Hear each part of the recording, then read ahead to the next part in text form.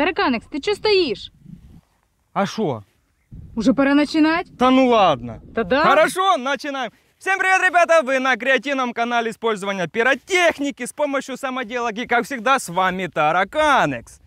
Как-то раз я себе нафантазировал сделать куб. Нарезал с деталей. Собрал. Это все крепенько обварил.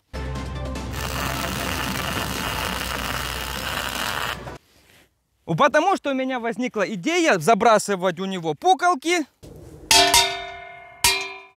Пуколки это слабые петарды. И сделать его круглым. Ну, короче, пошел я на съемки, начал забрасывать. Пук-пук. В общем, ничего серьезного с этого не произошло. Затем вы написали в комментариях, нужно в куб налить воды.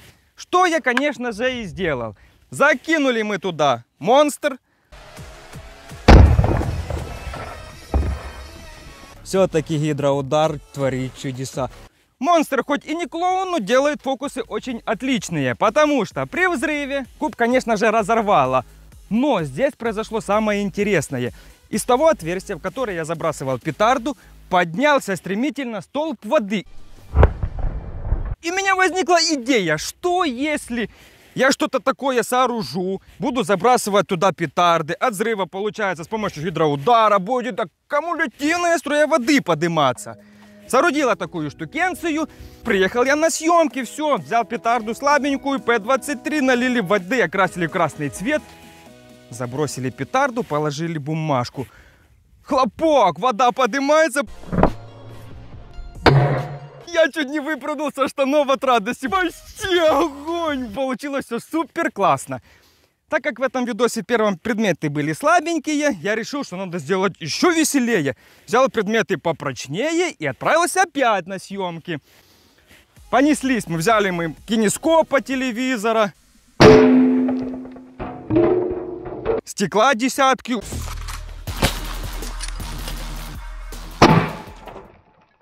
Лайк тараканиксу. 12-й корсар. Мою установку, в ту, которую я забрасывал петарды в воду, вырвало дно. Вырвало живьем. Это гораздо сильнее, чем оно пробило бы кинескоп. 8 миллиметров толщины. Вы представляете, что такое 8 миллиметров? Ну, чуть-чуть тоньше мизинца. Печаль, конечно, была, но самое интересное то, что оно вырвало как раз на последнем испытании. И я этим красивым моментом закончил ролик.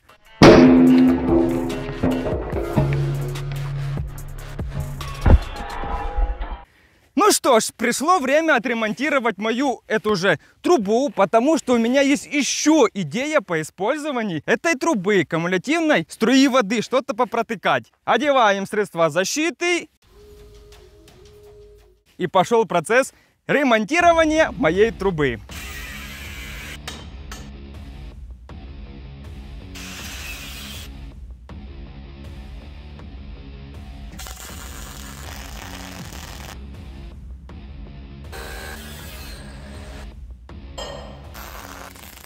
Раз-два и все готово. Труба исцелена и мы отправляемся на испытание.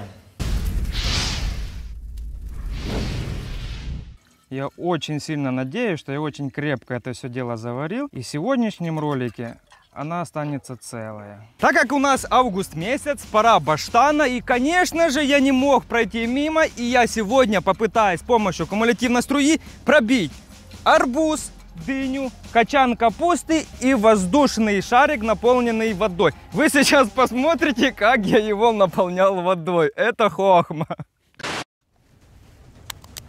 Так, а воздух где мы возьмем?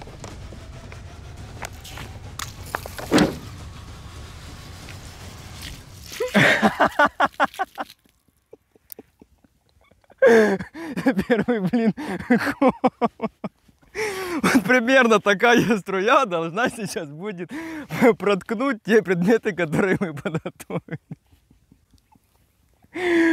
Ай, блин, Вася, Вася.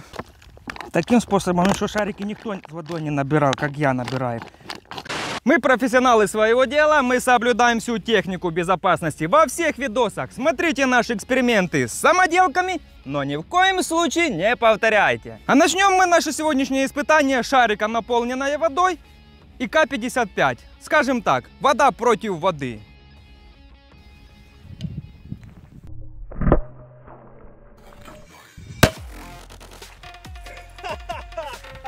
Шикардос! Который рот вообще отлично.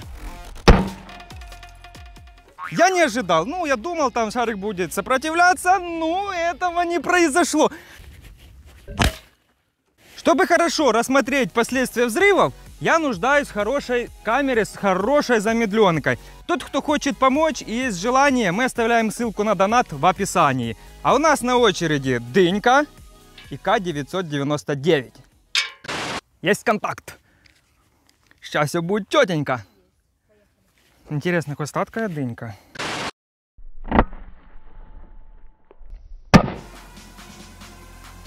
От удара воды нашу дыню раскидала на 10 метров в диаметре. Вот я нашел самый чистенький кусочек, потому что мне очень сильно хочется попробовать, какую же мы дыню спортили. Ну такая. Будешь? Угу.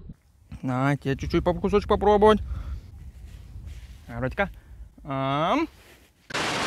Следующее у нас на очереди капуста. Но у меня есть два предложения, как бы я хотел это дело совершить. Можно поставить капусту вот так вот, либо вот корень вырезать и повернуть его наоборот. Чтобы когда струя воды ударит и капуста разлетелась. Потому что если она таким образом сработает, э, маловероятно, что капуста разлетится.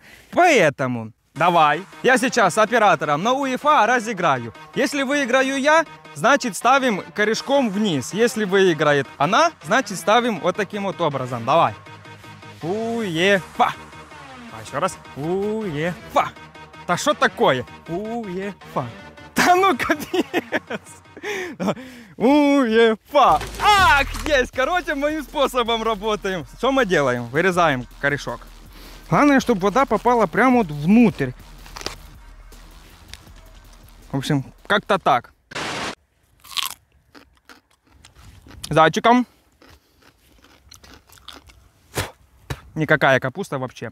Не зря она сегодня в нашем эксперименте участвует. Не смеши меня. Ладно, ребята, приступаем. У нас бомбить эту капусту будет вода с помощью петарды П6000. Да.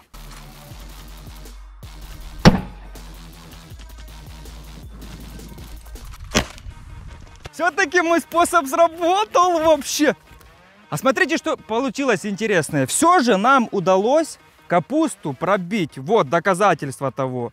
Ее просто расслоило, и вода про прошла струей через капусту.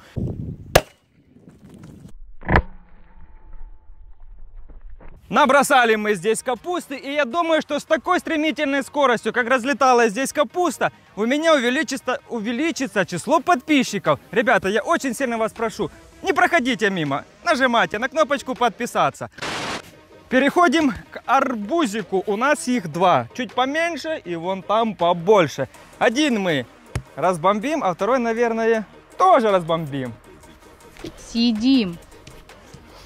Сидим. Посмотрим, как у меня настроение пойдет, так и будем, буду я решать. Когда я подготавливался к сегодняшнему испытанию, я запасся большими петардами. Но мне интересно, что бы было, если бы мы взяли под второй арбуз, той, который побольше, петарду послабее. Самая слабая, которая у меня на сегодня есть, это П5000.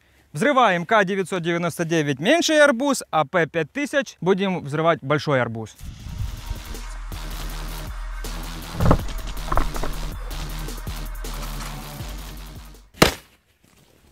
Да, наелись мы арбуза. Ни одного кусочка. Капец вообще.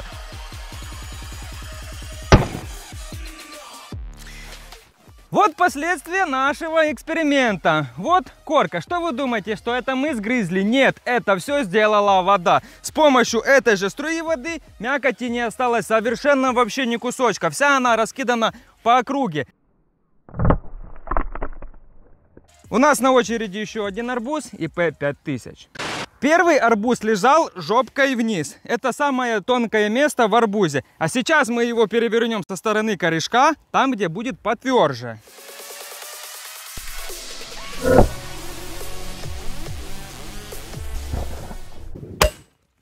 О, вот это уже покрасивше будет. Вот это вот правильное решение взять петарду П5000, потому что она слабее, и мы хоть как-то сумели рассмотреть, как же пробивает вода арбуз.